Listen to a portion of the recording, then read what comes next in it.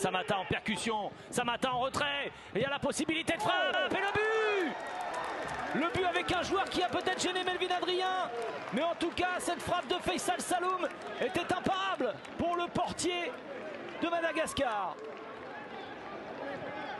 Et même si cette équipe de Madal est mieux dans le jeu, eh bien, sur ce coup, ah oui, il est gêné euh, tout de même, Melvin Adrien.